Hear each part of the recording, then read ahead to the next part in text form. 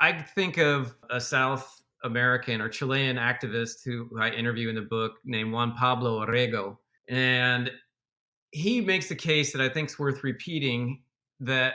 in order to inspire people to do these kinds of things, to take on this incredibly difficult work, we have to return to an appreciation of the aesthetic beauty of the natural world. We have to look to the kind of incredible reverence that somebody like John Muir had for a place like Yosemite and kind of mourn with John Muir the loss of Yosemite's twin, which was Hetch Hetchy Valley, buried behind O'Shaughnessy Dam. Glen Canyon, the namesake of that dam on the Colorado, as uh, I write in the book, one of the most beautiful places perhaps on the entire continent, and it was buried hastily behind a dam in the early 60s. In order to foster the belief that we can return to some semblance of wholeness, we have to start with the premise that a beautiful thing is worth saving.